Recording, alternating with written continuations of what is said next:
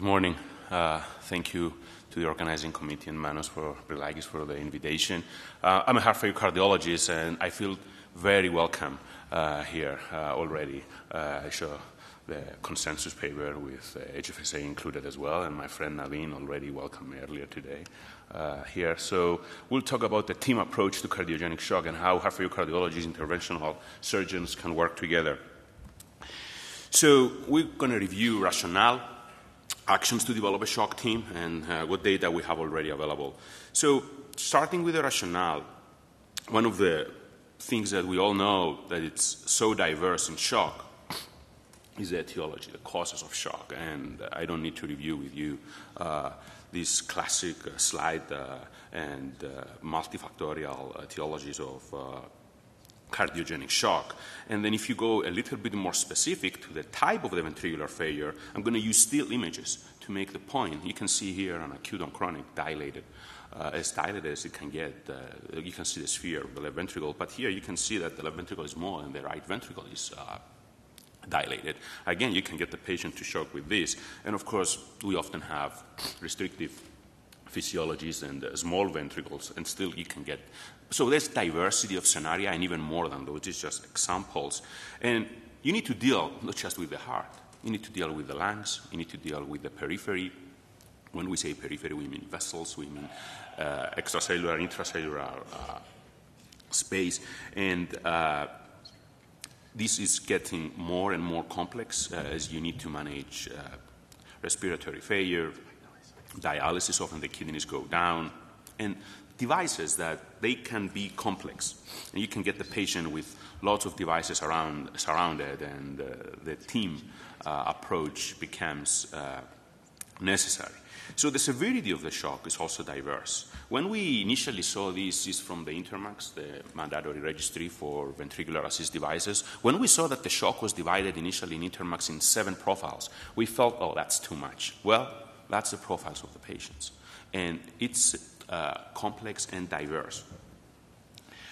Mechanical options. You heard a few of uh, the options uh, in the prior talk, and Naveen will continue with some of the details. I'm just going to quickly go. I mean, you are all familiar: balloon pumps, Impellas, tandem hearts, ECMOs.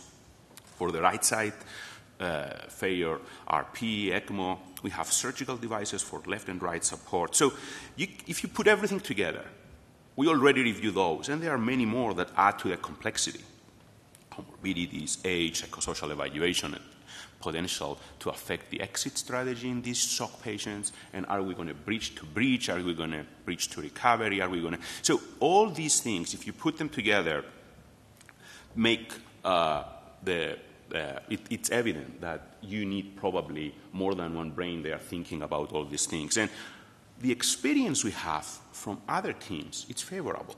And you are all familiar in your institutions with teams like this that they tackle complex problems uh, in a successful way. If you go to see what we have to guide the decision of one single uh, physician trying to figure out this, you go to the guidelines, for example, you can see here that everything is level C, at the most level B. So these, again, suggest that we, we don't have enough to guide. Uh, and so that's the rationale. Uh, for developing a shock team to deal with these difficult situations. So, actions is this feasible? Can we do that? So, this is a, uh, a very nice paper. Uh, some of the authors are, are here in, in, the room, uh, which was published about a year and a half ago, and uh, they tried in this paper to outline some of the goals that you need. And to achieve when you have a shock team. And you need to be able to uh, help rapidly identify the shock and uh, determine the underlying etiology. Maximize survival through uh, utilization of revascularization and other supportive therapies, and need to know when to escalate versus when to withdraw. And the ethics question comes into play often. And these are difficult discussions that, if you have a team there, makes it much easier. So, usually when we talk about shock teams, if you get it down to practical elements, it should include a heart failure cardiologist, an interventional cardiologist, a critical care CVICU attending, which most of the time could be a cardiologist as well, and a heart failure thoracic uh, surgeon. And the infrastructure that you need to have and the communication between the various teams. It's going to take place in the cath lab, in the OR, and the intensive care. That's why you need these specialties. Protocols, there are a few protocols out there published. I'm not going to go into the details in the interest of time. I'm going to walk you through our own protocol that we started one and a half uh, years ago, uh, almost two years ago. And it, the, the major determinant of this protocol is simple. Make it simple. So somebody smells shock. The fellow is instructed to page without any specific criteria. We want the pre-shock. We want a low bar. So the follow page the shock team. The shock team doesn't come into the hospital if it's in the middle of the time. The shock team is the heart failure attending, is the interventional attending, and the CVICU attending in our institution, most of the time is the same person as the heart failure attending. And then the surgeon is in touch with the heart failure attending. They talk all the time about donors and other things, so he knows where to find him. We don't have as many surgeons. We don't want to wake them up in the middle of the night in every single pre-shock case. And then the next decision point is, is this a STEMI? And if it's a STEMI or not, defines the next two steps of the algorithm. If it's not a STEMI, then we have time. Even for non-STEMIs, we have time. Going to right heart cath. And then if by the right heart cath and the clinical criteria, you meet these in the blue box, then MCS, mechanical circulatory support, a form of MCS is considered. We are not going to define what type of MCS in the protocol. The shock team will define that based on its experience and the presentation of the patient. And, and that's where we have it. And then, of course, the left heart cath will follow depending on the clinical scenario. If it's a STEMI, things change. If it's a STEMI, then time is muscle. And the compromise we did in order to add some hemodynamic criteria is that we will get arterial access and LVEDP, no time for right heart cath, so we don't delay the possible intervention. So we get the LVEDP from the same access that the interventional will use in order to, to cath the patient. And if possible, we will have two attendings interventional in the, in the cath lab, especially if it's a daytime. So if somebody meets the criteria in the blue box, one can do the intervention and the other one can proceed with uh, mechanical unloading.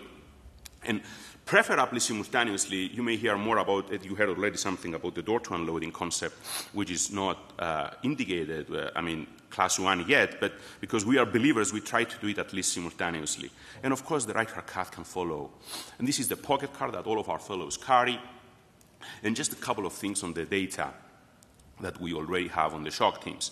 This is for uh, Ali Banayosy group uh, when he was in Bad Oeynhausen.